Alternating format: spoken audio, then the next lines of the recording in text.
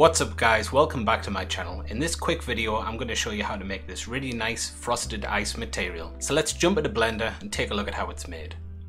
Okay, so I've got this 3D scan that I've downloaded from BlendSwap and if we take a look at this in solid mode it does have quite a lot of artifacts but what I'm going to do here is just right click on this and shade smooth.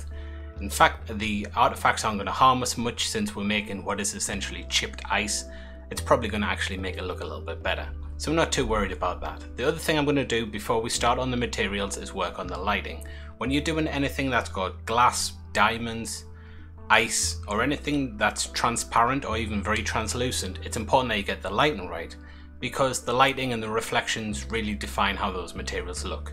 So if we go into rendered view here, what I'm going to do is press N and I like to use this Easy HDRI add-on. You can also use Gaffer, that's another really good one for HDRIs. But if I look through the library here, I found earlier on that there's one called Lights number 7 that looks really cool. It's just got this blue glow to it. I'll leave a link to this in the description.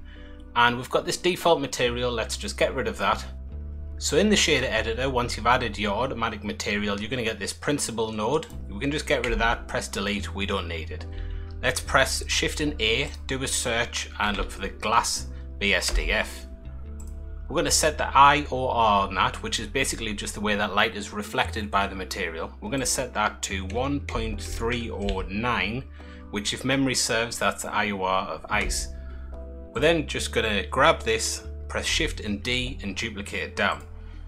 Now, if you look at pictures of actual ice sculptures, most of it's just pretty much clear glass, but with a bit of like warp and distortion to it, but what happens is the areas that are facing away from you end up looking much more roughed up, right? They're a little harder to see through those parts.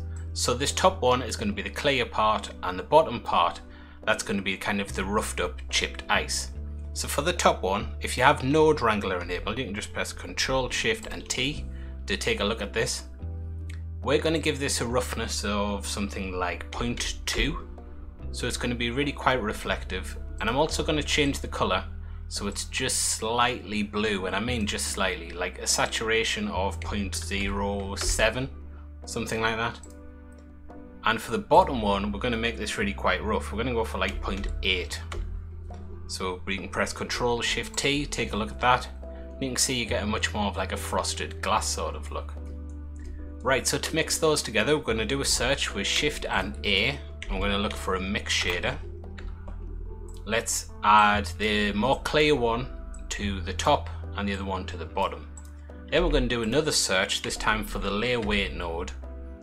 And if we press Control Shift and click on this, we can see that the Fresnel value, basically what this does is the further away something is from the camera, the lighter it looks. And we can use this as a mix value since this is almost exactly the same shading pattern that you get on the ice. So we're going to use this Fresnel to mix those two we just made together. And if we take a look at that, we get something like this.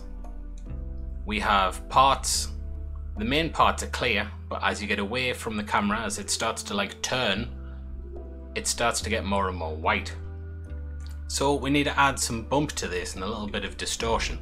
So we're going to do another search here for the noise texture and we want to use object data for this. What we're going to do is press Control and T and we're going to use the object texture coordinates, plug them into the vector, and then we're going to plug this noise texture into a bump. In fact, we're going to make two different bumps here, so I'm going to press Shift and D to copy that down.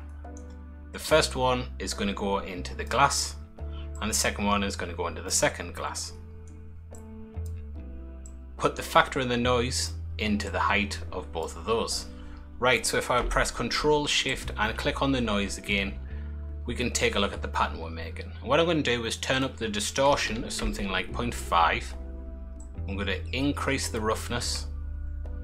I'm going to increase the detail and I'm going to put the scale down to something like 2. So we get this nice sort of wavy texture. For the top bump, we don't want it to be really strong, so I'm going to go for something like a 0.2. And if we take a look at the bottom one, I think that's going to be like a 0.7.